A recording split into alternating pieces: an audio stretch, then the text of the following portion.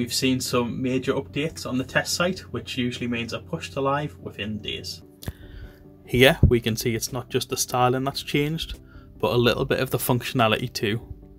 For example, you can see the how to, news and support buttons have all made it to the main navigation bar, whereas before we used to have to go back to the landing page to use them.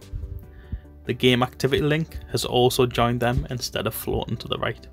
We can also see the map tools have had a bit of a refresh with a drop down add-in and the search bar moving over to the left. We also have the EcoSim and Holo building selections in with the other map views now, instead of being icons on the map.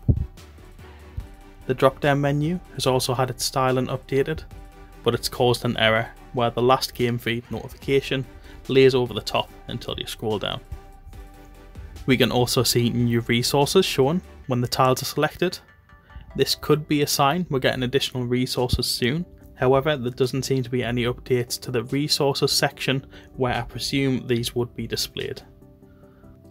My only annoyance with the update is the number balances in the top right seem rather squished and aren't as easy to read at first glance.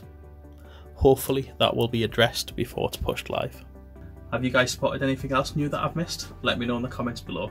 As always, thanks for watching, don't forget to like and subscribe, and have an amazing day.